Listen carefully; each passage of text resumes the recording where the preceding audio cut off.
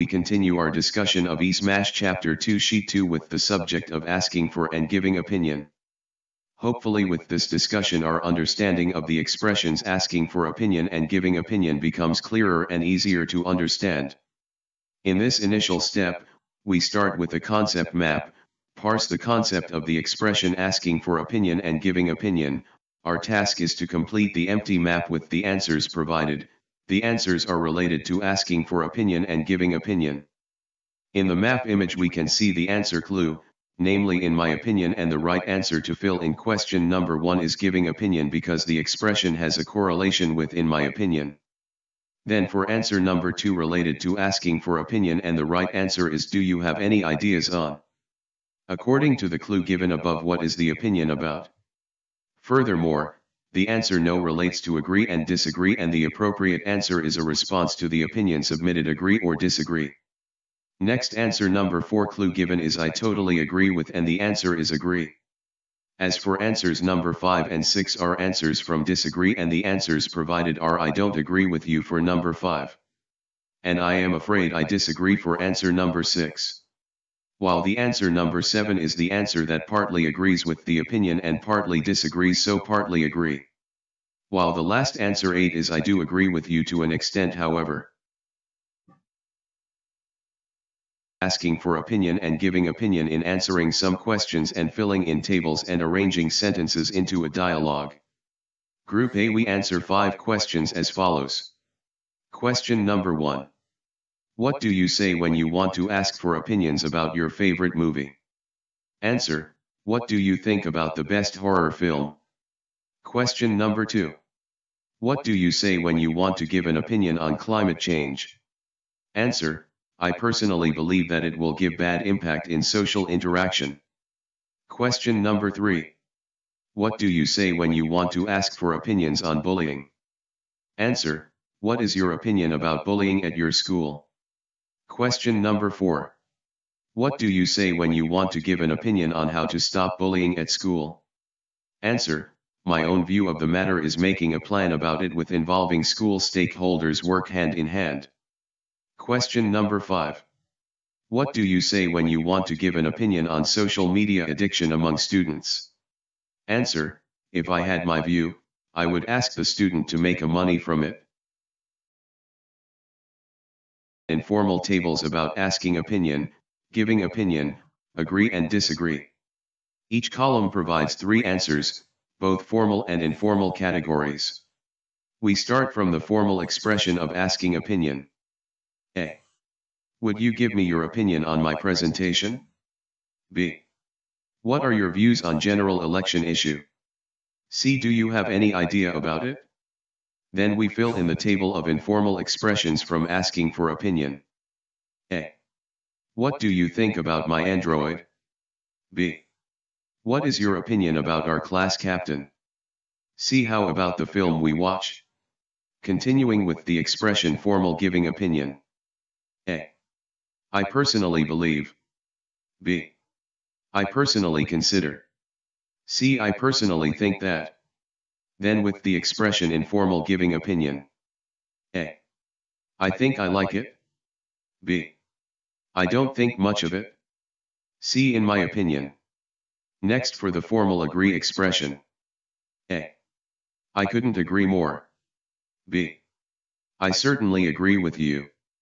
C. I fully support the idea. And informal agree expressions include A. I agree. B. That's right. See you're right. Next is the formal disagree expression. A. That's absolutely not true. B. That's totally unacceptable. C. I think you're totally mistaken. And the informal disagree. A. Speak for yourself. B. Don't make me laugh. C. Are you kidding me? In Part C the students must arrange the following sentences into a dialogue between Stephen and Kevin. If we look at the table above, the sentences grouped into Stephen and Diana are still not well structured, our task is to arrange the sentences above into a coherent and communicative dialogue, so that the order of the sentences is Dialogue opened by Diana because Diana called Stephen. Good morning, it's Diana, and Stephen answered the call from Diana Stephen speaking. Good morning. Can I help you? And Diana asked how Stephen good was. How are you, Stephen? And Stephen replied hot. How's life, Diana? Fine, are you ready to go back to school on Monday? Diana still doubts that Monday will go to school because the situation is still a pandemic. I am not sure. Is it safe for us to gather with other with other students in large number? We know the major sterilized all public school in the city but I am still not sure. What is your view on the situation? And Stephen gave an opinion that Diana would not hesitate. In my opinion, it might be safe but to be more safe. I think we must wear masks and keep to the health protocols. And finally Diana also answered that's a good point. Thank you for calming me down, Stephen. At this stage students are tested for their understanding of the use of the expressions asking for opinion and giving opinion contained in the dialogue by answering the questions given by each section. And there are three dialogues. Dialogue 1. Bill has just arrived at school when he gets a massage, and rushes to Eva's class. He finds her in tears. Bill, ha. What's wrong? Eva, ha. Some of my classmates sent me hurtful messages. They said that I must not come to school. I know I was infected by the coronavirus but now I am fine and free from the virus I told them, but they wouldn't listen. Bill, I think you should ignore their words, and talk to your homeroom teacher, call me whenever they treat you unfairly. Everything will be fine. Eva, I think you are right. The questions should be answered. 1. The correct expression to complete the dialogue is A. Is it you? B. Can I go home? C. Will you come with me? D. What do you think?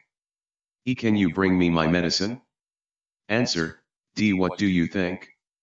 2. According to the dialogue, what is the effect of the messages for Eva? A. Eva is thrilled. B. Eva is excited.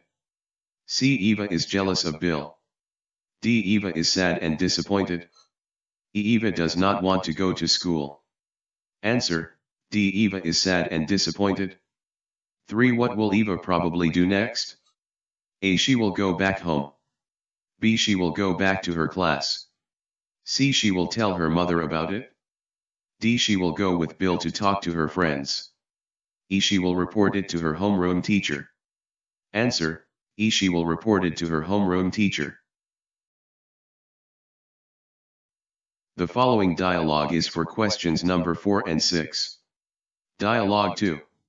Mary, the president of student council, often finds a few students smoking in the corner of the school canteen. Dave, hi. Mary. How's life? Mary, hi. Dave. Fine. How are you? Dave, good. What's up? Mary, just now, I took some photographs of students smoking during lunch break. What is your opinion about this matter? Dave, in my opinion, you should talk to the principal, that they are breaking the rules and they are harming themselves. Mary, no doubt about it. For the correct phrase to complete the dialogue is A. I am personally. B. You are personally. C. I personally. D. You personally believe. EU personally do not believe. Answer, do you personally believe? 5 From the text we know that A. Dave is worried about Mary. B. Mary is thrilled to find Dave. C. Dave does not know what to do next. D. Dave is concerned about his own safety. E. Mary does not know what to do so she asks Dave's opinion. Answer, E. Mary does not know what to do so she asks Dave's opinion. 6 they are harming themselves. The underlined word can be replaced by A. Hurting.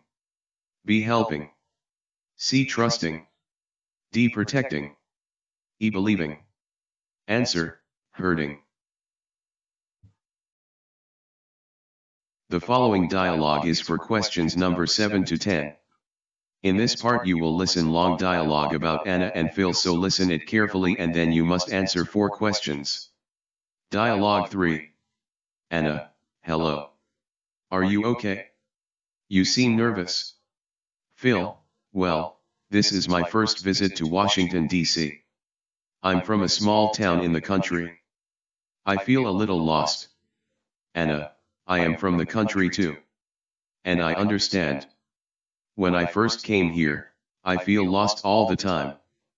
Phil, so, do you like living in the country or in the city? Anna, I like to live in the city. Phil, what?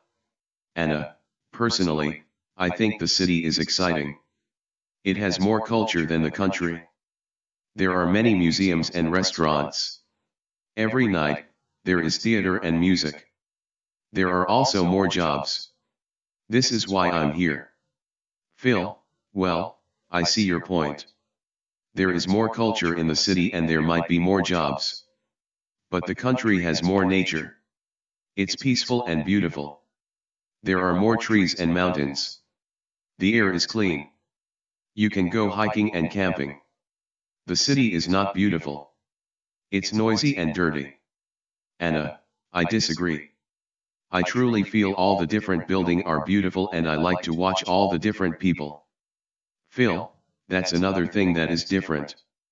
People in the country are friendly. They always say hello. Here, no one says hello I think city people are rude. Anna, well agree. Country people are friendly. But I don't think city people are rude. I think they re just busy. Phil, that's a good point. Anna, look at me. I live in the city and I said hello to you. Phil, but you are from the country. Anna, I have an idea. Let's say hello to people, to many people. Phil, what? What? Anna, well, if we say hello maybe they will say hello to other people, hello. Phil, and they will say hello to more people. That's a great idea. Anna, Come on. Let's go say hell to people. Phil, we don't have to agree with people. They have their opinions. We have ours. And as we like to say, you can always agree to disagree. Question 7 to 10. 7. Why do you think Anna said hello to Phil? A. She is afraid of Phil. B. She is Phil's best friend. C. She wants to ask for help. D. She is concerned about Phil. E. She wants to sell something. Answer, D. She is concerned about Phil. 8. I am from the country too. What does the underlined mean? A. Rural area. B. A busy town. C. A new country. D. A crowded city. E. A foreign country. Answer, A. A rural area. 9. From the text we know that. A. Phil loves the city. B. Anna and Phil just met. C. Anna is new to the city life. D. Anna and Phil are best friend. E. Phil has lived in the city his whole life. Answer, D. Anna and Phil are best friend. 10. Well, I see your point. There is more culture in the city and there might be more jobs. But the country has more nature. It is peaceful and beautiful what does Phil mean by saying that? A. He does not like Anna's point of view. B. He totally agrees with Anna's opinion. C. He partly agrees with Anna's opinion. D. He likes Anna's opinion about the city. He totally disagrees with Anna's opinion. Answer, see He partly agrees with Anna's opinion. Read the dialogue and answer the questions. Dialogue. Bill and Dave are sitting on a bench under a big tree next to the schoolyard. They look so serious. Dave, I'm telling the truth. This morning one of my school friends threatened me. He demanded money. He also asked me to buy cakes and food for 20 people to celebrate his birthday this weekend but I said no. Bill, good. You are so brave. That's the right thing to do. Dave. Bill, I think I know whom you are talking about. I had the same experience. He demanded I buy him shoes last month but I refused. Personally I believe it is a crime so you should talk to your homeroom teacher to prevent others becoming his next victims. Dave, I couldn't agree more. Bill, you re not on your own. Nothing to worry about. Based on the dialogue above answer the following questions. Question number 1. What is the correct expression to complete the dialogue? Answer, what is your opinion about his threatened? Question number 2. What kind of relationship do Dave and Bill have? Answer, they are classmates. Question number 3. What can you conclude about Dave's problem? Answer, he gets bullied from another classmate. Question number 4. What is Dave's response to Bill's opinion? Answer, he feels so doubt to tell it to his homeroom teachers. Question number 5. What is your opinion on Bill's and Dave's problem? How would you should solve it? Answer, they have the same problem that is being blackmailed by their classmates. I think they must see their homeroom teacher to stop it. Topics. Choose one of the following topics. Give your opinion about the topic and write a dialogue about it. Online classes. How to make a fun English class. Planting mangrove. I think when you write down your dialogue, you should do some steps so your dialogue will be more interesting. A. Give a clear description where the dialogue take a place, when they talk the topic. B. Open your dialogue with smooth greeting. C. Declare the issue or topic that you choose. D. Use the expression of asking for opinion as the characteristic of your dialogue. E. Use the wonderful expression of giving opinion as the social interaction. F. Give a suitable response.